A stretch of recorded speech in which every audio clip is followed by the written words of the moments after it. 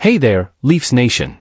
Welcome back to Toronto Maple Leafs News Now, your ultimate destination for all things blue and white.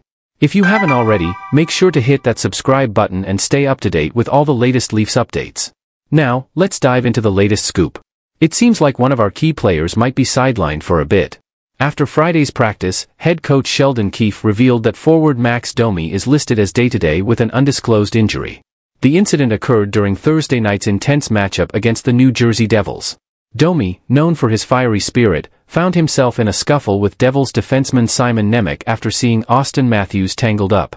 Both players received major penalties for the fight, with Domi also handed an additional two minutes and a misconduct for instigating.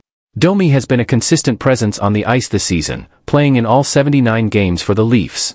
While his performance hasn't quite matched last season's numbers, where he notched 56 points, his contributions have been invaluable to the team.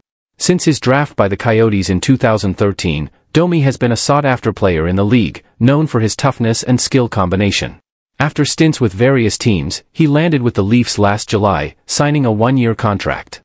In his impressive NHL career spanning 660 games, Domi has racked up 130 goals and 417 points, including 22 points in playoff games. As the Leafs push through the remainder of the season, sitting third in the Atlantic Division, the absence of Domi's presence on the ice leaves fans wondering about the team's depth and resilience. So, Leafs faithful, what are your thoughts on Max Domi's injury? How do you think the team will fare without him? Drop your opinions in the comments below, and don't forget to like, share, and subscribe for more exclusive Leafs news. Until next time, this is Toronto Maple Leafs News Now, signing off.